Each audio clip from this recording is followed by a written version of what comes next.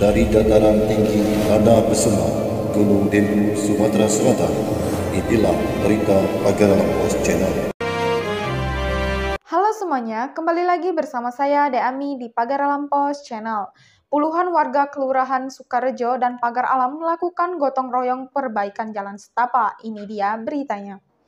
Perbaikan jalan setapak itu ialah inisiatif dari kedua kelurahan tersebut. Antusias untuk semangat gotong royong dari warga kembali terlihat. Lurah Pagar Alam Ari Iranda menuturkan bahwa telah disepakati dengan adanya perbaikan jalan tersebut guna memberikan kenyamanan bagi pengendara. Deami Pagar Alam Pos Channel